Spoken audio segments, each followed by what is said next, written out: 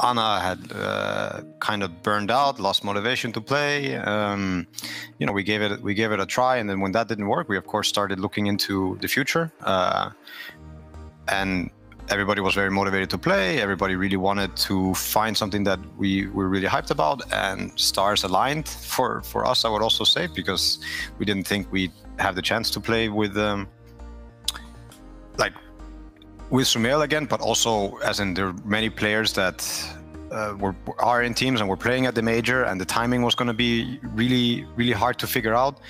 Um, so we had it in mind, but nothing moved until, of course, after um, after the major. Is Sumail on a boot camp with you guys? He's right here next to me. Uh, me and Sumail are together, and the rest of us are home. But we're hoping.